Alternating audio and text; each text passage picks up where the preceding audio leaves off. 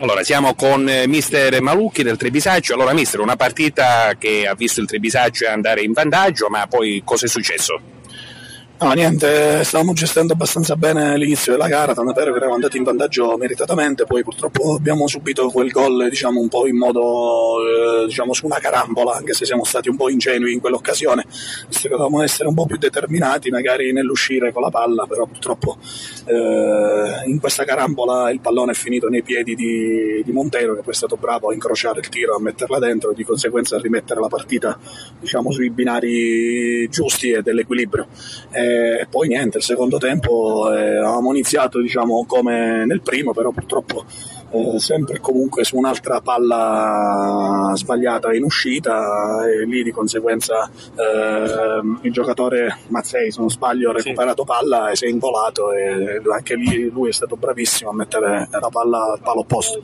Poi nel nostro tempo abbiamo provato a rimettere la gara sull'equilibrio eh, però abbiamo trovato una buona Luzzese che si è difesa abbastanza bene, ci ha concesso poco, anche se abbiamo avuto qualche situazione che potevamo sfruttarla meglio. Eh, magari ci contavamo che alla fine il risultato di pareggio forse era quello più giusto, però complimenti e onore alla Luzzese e speriamo di eh, riprendere questa marcia già da domenica prossima. Comunque in classifica si muove poco, voi siete sempre a 19 punti, ambite chiaramente ai playoff e comunque adesso che si riapriranno le liste cosa il Trebisacce farà? Ci saranno novità di mercato o comunque si lascia questo gruppo, questa rosa che comunque ha dimostrato di avere i numeri per poter sicuramente anche ambire, perché no, ai playoff? Guardi,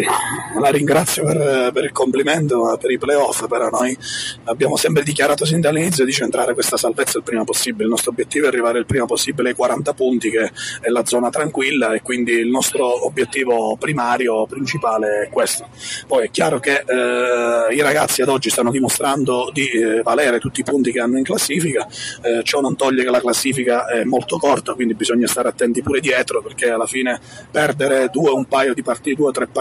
si potrebbe diciamo, eh, risucchiare nella zona bassa, quindi non ci facciamo illusioni, pensiamo partita per partita e soprattutto cerchiamo a rimanere coi piedi per terra. Eh, non a caso eh, per quanto concerne il mercato invece eh, le dico eh, in anteprima che a quanto pare eh, difficilmente sarà fatto qualche innesto anche perché noi ci eravamo previsti un, un budget, lo stiamo cercando di rispettare e nello stesso tempo dovremmo vedere eventualmente solo per una questione numerica.